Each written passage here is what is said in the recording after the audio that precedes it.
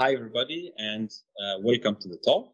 I am really glad to be here today to talk to you about some of the work that we've been doing on um, feedback-based fuzzing and how we combine this with ZAP in order to have really effective testing of, of web applications. I am Khaled. I am one of the co-founders and the CTO of Code Intelligence, and we are a startup from Bonn in Germany that are we are mainly working on um, on fuzzing and our product CI Fuzz in order to enable developers to in easily or seamlessly integrating fuzzing into their development process and benefit uh, from this very effective technology. And so since we're talking about fuzzing, let's give a, a brief introduction about what what's what is fuzzing, what uh, what fuzzing actually is. So the core idea of fuzzing that that has been that has that was started like almost more than 30 years ago was if I have an an application or a system under test, let's let us throw some some random data into the application and see if it crashes. And this is this is the the core idea of fuzzing. And while this um, approach um, was able to find bugs uh, or many bugs in, in applications, it has a very obvious limitation. So since we're th throwing random inputs at the application, it's highly unlikely that we will, will be able to cover a lot of code, meaning it's hard to trigger deep program states because we don't have any insights about what's happening inside the program. And because in most cases, these random inputs that are generated by the fuzzer would be rejected quite early by the and so, in order to mitigate this problem, um, came the idea of okay, instead of generating these random inputs, let's start from the test data that are available anyway with the application. So, if we take an example as a, an image parser, uh, usually you would have some some images there to for to do some some unit testing to make sure that the parser, the parsing or the, the logic is, um, is correct. And there, the idea would be let's take this as a as seeds or a starting inputs and try to do some mutations based on, on that. So trying to change the colors, to flip some bits and bytes, and see what, what's happening. And with, with this, we hope to reach more code coverage. But again, here we have the same limitation is that we the fuzzer or the the testing uh, framework does not have any insights or informations about uh, what's actually happening inside the program. And the real breakthrough of um, for fuzzing um, came with with, um, with AFL, and there it was the core idea was um, let's integrate some feedback information into the fuzzer, and with this, the idea would be let's instrument the application uh, or the, the code that I want to test. With these, uh, we mean injecting some special markers into the application, into the code of the application. And these markers would then give the fuzzer feedback about which code areas have been um, covered, which paths of the program have been executed, and information about different program states so that the fuzzer would have enough information or good information about what's happening inside the application with the input it generates. So if we uh, stick with the uh, with the image parser as an example, let's see how coverage guided fuzzing would handle this. So the fuzzer does not have to have any previous information about about the application. So it basically starts with some with some random bytes, and here with a with a null byte, and then it executes its application. And with instrumentation, it gets feedback. Okay, these are the code areas or the, the line of code, for example, that have been touched. And we can see this is okay. Um, so this, this is an um, um, invalid image, so it, it returns an unknown format. But the fuzzer sees all the comparisons that, that, that are happening in the code. And it sees, for example, that the, the, inputs that it generated, it gets compared to some, some constants. So, okay, take this as a hint and try in the next iteration to use them. And obviously, this is an, an invalid image, but with this information, with this coverage information, with this information that these comparisons have taken place, the fuzzer can then try out some of them. See, okay, here I will use one of these constants that I've seen in the program as, as an input and see what's happening. So if it tries this input, now we've seen that this input takes a different code back. And now the fuzzer successfully convinced the application to, to, to interpret the, um, the input as a, as a JPEG image, for example. And this that this is a, a valid image. And um, the fuzzer does this quite fast and it, it performs several thousands of executions uh, per second. And so now we have uh, valid images and um, with each mutation, the fuzzer gains more insights into the application. And the fuzzer does not get bored, it means that it, it really it can execute or perform, generates thousands of test cases per second. And with the time, the fuzzer would then generate sort of evolves the test cases that it generates in order to achieve um, high code coverage. And this is actually uh, an actual experiment that was done with an image parser. And the fuzzer, after a few hours, was able to generate valid images from the image parsing uh, application, even if it did that, even that it didn't know that it's trying to fuzz an image parser. And this shows the effectiveness of, of coverage garbage. And so this is another way just to give it a, a more high level illustration. So with black box fuzzing, you don't have any insights about what code areas or code paths have uh, each input has triggered. And with the with the gray box fuzzing and with instrumentation based fuzzing, the fuzzer would know the path it took inside the application, and this would help it to generate high quality test cases that uh, are more likely to trigger bugs. Let's have a look at the industry and the adoption of fuzzing. Tech leaders like Google and Microsoft find most of their bugs with fuzzing. And as an example, fuzzing alone has found over 29,000 bugs in Google Chrome. And this shows how effective this method actually is. But usually when we talk about fuzzing, we usually mean C and C++ applications. And there we have really mature um, tooling and setup. Um, but in the context of, web applications um, that are mainly written in Java or JVM-based languages, the tooling um, is not as mature. And this is what we um, aim to, um, to change. And for that, we developed Jazzer. Jazzer is a coverage guided in-process fuzzer for the JVM. And it's based on, on LibFuzzer. So LibFuzzer is a very powerful fuzzing engine developed by Google, mainly for C and C++. And we based Jazzer on LibFuzzer so that we can benefit from all the powerful features that are already available there. And it has many smart mutations uh, that increases or maximizes the code coverage reached during fuzzing. And it has the ability to add some custom mutators, meaning that if you have, an, if you have an, an application or a software that you want to test that receives data of or inputs of a, a certain structure, you can add mutators, special mutators for, for, that into, into Jazzer. And Jazzer is completely open source, so it's available in GitHub and you can have a look. And it's by orders of magnitude better or more effective than available Java fuzzer, and um, it, it will be soon uh, it will be soon integrated into a, um, a fuzzing a public fuzzing platform in order to um, fuzz open source software uh, written in Java.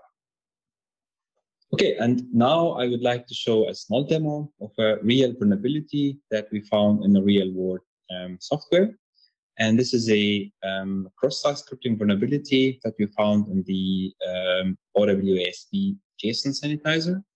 So the JSON sanitizer is a library that giving a JSON-like input, you would get a valid JSON. And there, the goal is to make it easier and safer to take um, the sanitized output and put it or embed it into a HTML or XML document. And now I'd like to show how we found this vulnerability, how this looks uh, like in action. So here I have the jar file of the JSON sanitizer. And all I have to do is to write a small test harness or fuzz target.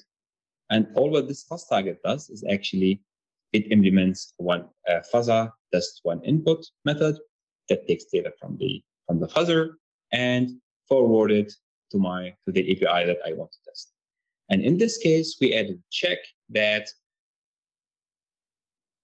checks if the sanitized output contains a closing script tag. And this would mean that cross-site scripting would be would be possible. So now all I have to do is to compile my my fuzz target and then um, start Jazzer. So all that Jazzer needs is the, the class path of the my library and the my um, my uh, where I put my fuzz target and which class it needs to, fuzz where we define the fuzzer test one input method. And that's it. So now Jazzer would automatically instrument the code uh, using a Java agent and it would try to generate inputs that maximize the code coverage. And you see here that here we have good information about code coverage. And here we see that how many executions per second Zep is, is performing. And it's on my, my laptop with a single core. And we, we achieve more than uh, 53,000 executions per second. And fair enough, um, Zep was able to generate an, an, an input that whose sanitized output contains this closing script. And of course, Zap would then output a um, the, the crashing um, the crashing output, and you would get a, a reproducer automatically generated, meaning that you can take this Java file, compile it, and then you can reproduce the file. And here it took us just a few seconds in order to be able to trigger this vulnerability. And this shows the effectiveness of, of coverage guided fuzzing and how can, can it be really beneficial in order to identify real vulnerabilities. And so on the Jazzer uh, GitHub page, you would find the, the list of vulnerabilities that are that we published, and some of them we have some vulnerabilities that are not yet disclosed because we're doing responsive disclosure. So we're working with the developers so that they can fix, and then we would then publish them on, on, on the on the Jazzer GitHub page. So here in this talk and the context of this conference, we're mainly interested in testing web applications. And performing fuzzing or coverage guided fuzzing for web applications comes with very special challenges. First, we have highly structured inputs. Think if we have a web application that expects, for example, a REST API. There we have the in, each endpoint accepts requests of a very specific structure. And just throwing random data into these endpoints would just would be very highly uh, ineffective because uh, these inputs would be rejected quite early in the processing. And here we're talking mainly about uh, applications or software written in Java or JVM uh, based language. And we have a different class of bugs uh, that we're interested in compared to C and C++ because Java is a memory, it's a memory safe language. And here we're more interested in finding bugs like um, SQL injections and cross-site scripting, etc. And ZAP is a great tool for that. So ZAP has really great scanners for detecting um, a wide range of, of bugs, so many bug classes. It has both active and active scanners, and with the active scanners, you actually attack the application. But since that does not instrument the code, it lacks insights about which code areas have been tested or insights about what's exactly what's happening inside the application, which might, which would lead into some false positives in the um, in the results. On the other hand, we have Jazzer, and since we perform instrumentation, we get deep insight into the tested code, so we know exactly which code areas have been have been reached, and we know based on that we have some smart smart heuristics to maximize the code coverage. And what ZAP does is that it, for each interesting test cases that it generates, it keeps keeps it in a in what we call a corpus. And this corpus enables ZAP or enables Jazzer to start from the uh, the, la- the state of the last run, meaning that when we start fuzzing again, we don't have to start exploring the program from the start. Using the corpus, ZAP would start, uh, Jazzer would start from the um, state of the last run. And we you reuse some of the bug detectors from ZAP, and we have also some on for Jazzer, um, uh, our own instrumentation-based architectures. But if we if if we look at these two approaches, I mean they are perfectly fit to to be to work with each other. So we can use Jazzer to maximize code coverage, and we can use the, the really powerful active scanners from Zap to attack or to test the application. So in order to in, to have really effective results, we combined ZAP and, and Jazzer, and now we'll, um, I will discuss exactly how we do it. So here we see how Jazzer and ZAP would test uh, web application. So with Jazzer, it generates the, the fuzzer generated request, sent to the application, it receives a, um, a, a, feedback and uses this to maximize code coverage. And ZAP would then uses its um, active scanner to attack the application under test. And now I will discuss how we make this link so that ZAP and Jazzer can collaborate into testing the application. So we talked about custom mutators and that it wouldn't make sense to just throw some random data uh, onto the application under testing to, for dealing with a web application. And for Jazzer, we implemented on top of it using its custom uh, mutator interface, what you call a web mutator. And this web mutator would just take a, an API definition uh, describing um, the endpoints, the endpoints of the application. So what, what are what are the endpoints that are available there, and how the inputs or the requests that are expected by each input should be, structured. And the web mutator would just provide valid or mutations. So it, it, it guarantees that at all time it generates valid requests according to the, to the, to the definition. And so with that, we guarantee that all requests that we send using Jazzer is accepted or are accepted by the application. And then we get valuable feedback and so we do it in a way that when Jazzer generates an input or a request, that results in a new code coverage. So Jazzer will generate a request, we get a feedback, and when Jazzer sees that this request actually resulted in a new, new code coverage, this interesting request would then be forwarded to ZAP so that the active scanner of ZAP can use this request as a seed for the active scanner. So ZAP would then attack this input, guaranteeing that this input or this request has interesting code coverage or new code coverage that the other request um, does not.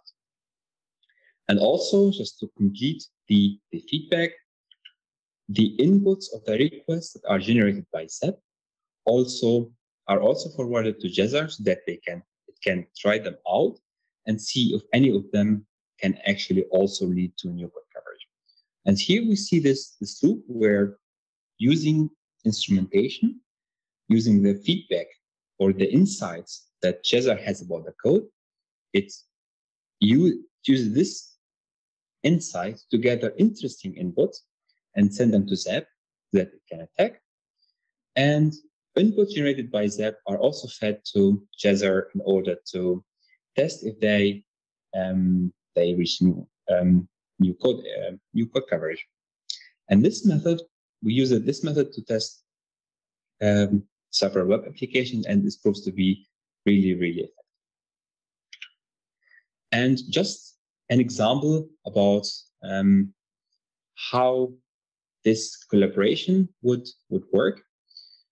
Um, we see here a code snippet, and this code snippet is from um, WebGoat, which is a vulnerable uh, Spring Boot application, uh, and it's there. I mean, it's intentionally vulnerable and used to just test um, uh, or to, to, demonstrate some, some bugs.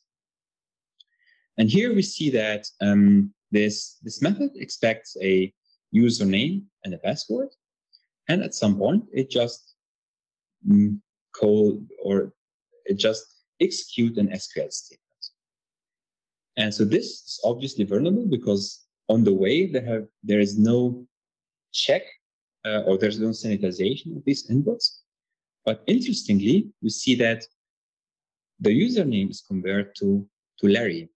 So any username that's not Larry would just return directly and we, don't, we will not have the chance to execute the SQL statement. And this here's where instrumentation plays a, plays a really important role. And so one of the the methods that we uh, that we report to Jazzer using instrumentation is all string comparisons. So whenever we have an, an equals, for example, call, um, this will be reported to Jazzer that these input, these two inputs, these two strings were compared to each other. So in this example, if if Jazzer will just generate a username foo, and it, it gets a report that foo is compared to Larry, then the next thing that Jazzer would try to do is just use Larry as a username and see what happens. And what would happen in this in, in this scenario is that Jazzer would just crack, would just guess or just generate a correct username that would just um, um, satisfy this, this condition, and then we will able to uh, to um, execute in the SQL statement and able to trigger the SQL injection. And this here is the an, an example of the um, of a request that was generated by uh, by Jazzer. Username is, uh, is Larry, and we have the stop in Westport, and this actually triggers the um, the SQL injection. So the a black box fuzzer with no insights about the code would very highly unlikely guess um, that it, it needs to use Larry as a username, but it was very easy for Jazzer to do that because it gets um, this insight or this hint from from the instrumentation that uh, from the code instrumentation that it performs. And here is another example that shows the effectiveness of instrumentation or, or feedback-based puzzle. So here we have um, an example that um, in, encodes the input using base64, performs some some kind of insecure encryption, so some hard, like some commutations um, for that, and we see that this block is is really hard to find if you if you don't have any feedback or you don't have any information about what's actually happening inside the code. So by just it, it's hard, very hard to, to guess by by random the correct input. And um, with Jazzer and with Jazzer, it's um, this can be found very quickly. And by the way, this example is also available in the into the um, into into the into Jazzer examples available on GitHub.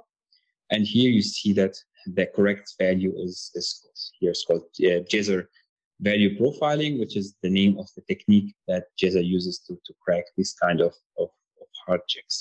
So uh, I would, uh, would encourage you to go to have a look at um, at the examples provided by on the on the GitHub and uh, play around with Jazzer.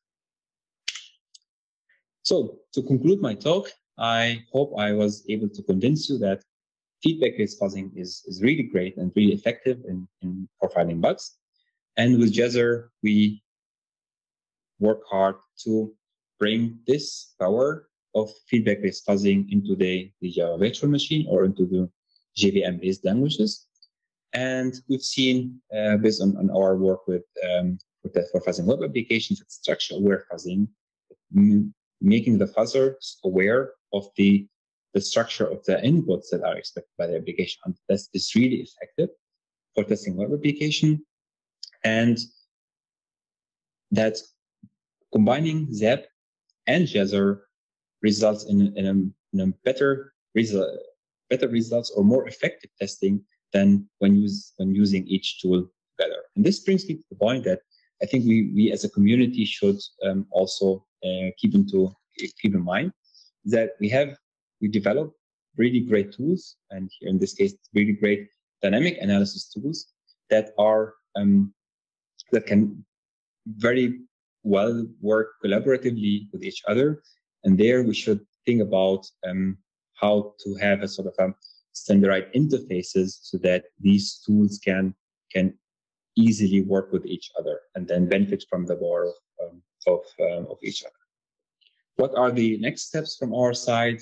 Uh, we will be releasing some of the um, our bug detectors, so our instrumentation-based bug detectors, and we hope that this would enable the community to contribute to that, so that we have really uh, powerful bug detectors for um, for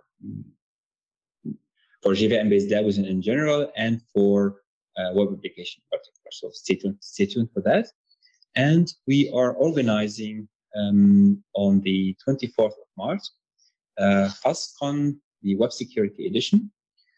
And here we have um, um, really great speakers from uh, from Google, from uh, Microsoft, and uh, and Simon will also give a talk there. So we really have good talks, and they, you are more than welcome to um, to join and to uh, to participate in the conference. It's uh, the conference is completely um, free and it's, it's, an online conference. So I uh, I would invite everybody here to uh, participate. And so this brings me to the, the end of my talk. So thank you for, for your attention. And um, if you have any questions, we can talk on Discord or um, if you have any questions for me, uh, I'm also available on, on Twitter and uh, just uh, look for um, for me on Google. You will find also my my email address. So yeah, thank you for your time.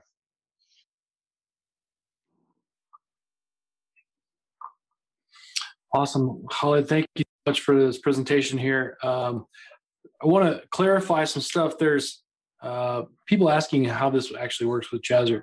I think mm-hmm. what you were talking about there was all that Jazzer traffic was actually being proxied through Zap. Exactly. Can you can you explain that setup a little bit more for people? I uh, I'm not sure if I missed the the video edit part of that that w- actually has some Zap screenshots. I feel like they were there, but help explain some of that just a little bit on how you had that set up and what was working there. Yeah, thank you for the question. So um, the idea is that uh, so Zap, if you give Zap a sort of a, a, request, it can then mutate this request and attack the corresponding endpoints. And so what's what's since Zap does not perform uh, instrument the code, it's, it's, not the intention of Zap. It's um, it does not get feedback on like this this request has some new interesting rich some new interesting code and this is some the thing where where instrumentation based fuzzing is really effective at. So from from Jazzer or from the from the fuzzer, you would just uh, sort of also attack the application to communicate with the application.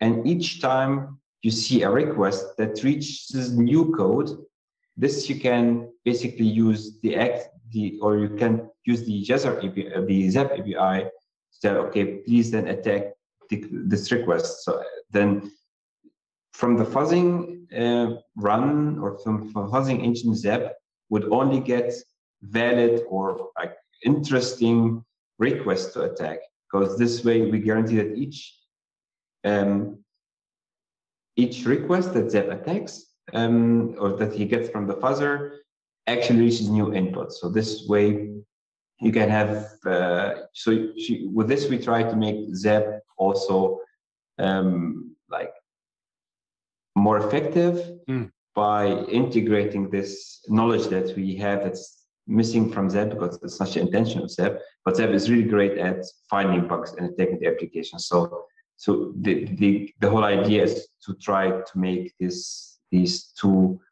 tools collaboratively work with each other. Yeah, I think I get what you mean. You, are trying to get Jazzer because Jazzer knows about the source code that the application's written or the bytecode, so it knows a lot more about the application than Zap natively would.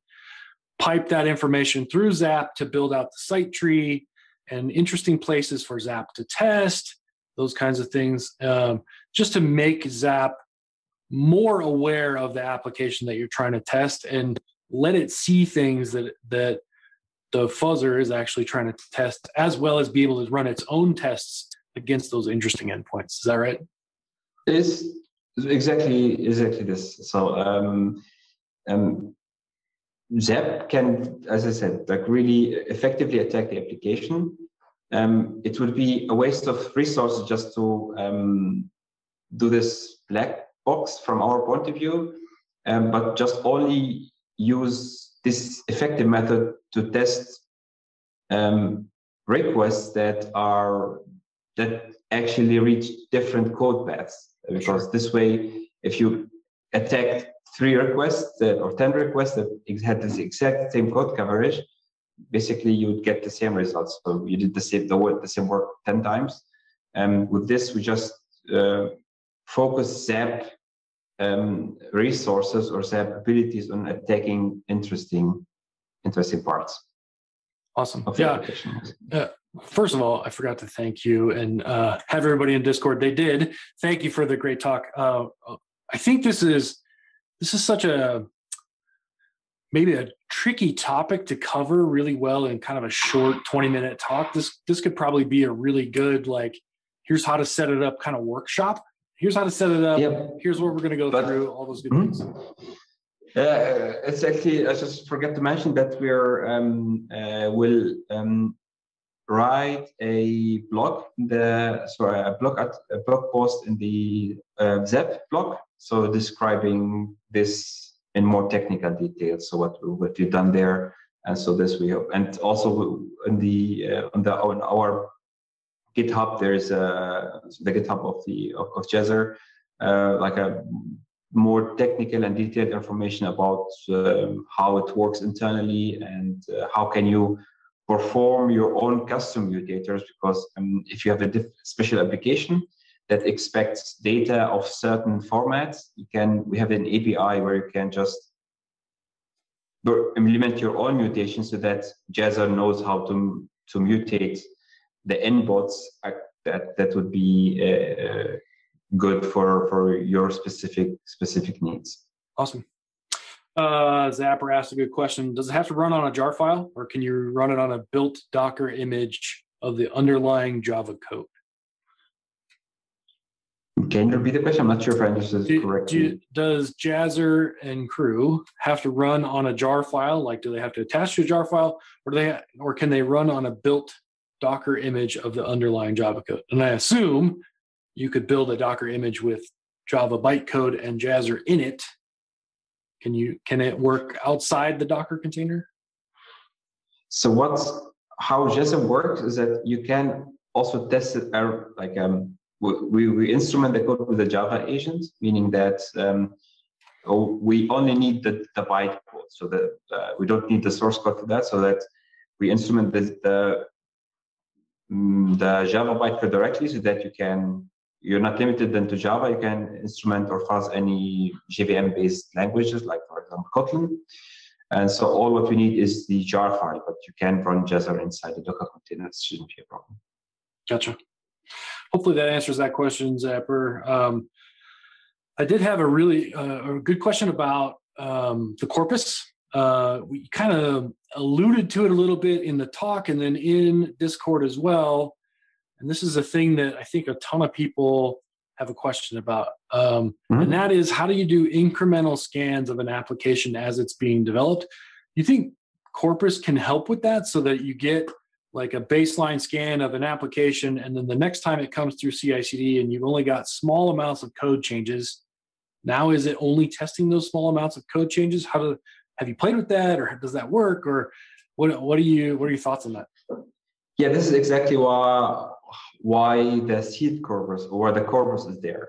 So you can think of a corpus uh, as um, like in, in it's a directory, um, a place where jazz where fuzzing like this is uh, not specific to Jazzer, but any coverage guided fuzzer. So you have a corpus. So when the fuzzer generates an, an input that results in a new code coverage. So an input that reaches new code, it saves this input in in what what what's called a, a corpus. Mm-hmm. So with time, it builds in this corpus a set of interesting test cases that maximize the code coverage, and it has some also smart heuristics how this corpus can be minimized so that you can still reach the same code coverage.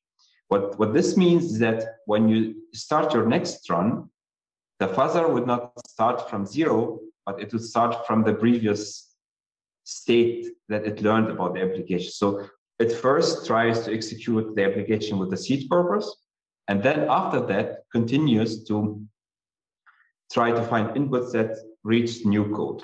And with this approach, you can also make sure that in this corpus, you can also uh, store all the crashes that the fuzzer found so that you can find regressions quite easy because all these cases that resulted in errors in the past are now in, in, the, in the corpus. And if you if a regression that it should be re-triggered very, very, very quickly by the fuzzer. so the corpus is just a, a way to represent the fuzzer's knowledge about the application, and this would be uh, just um, if, if you have any like, new code changes, then the fuzzer will just find mutations that that reach these these um, uh, these code areas. Awesome. Uh, there was one more uh, question, and then I think we'll have to close down Q and A for this particular session. Uh, but can we limit the fuzzed request generation from Jazzer? Can you limit how many requests Jazzer builds?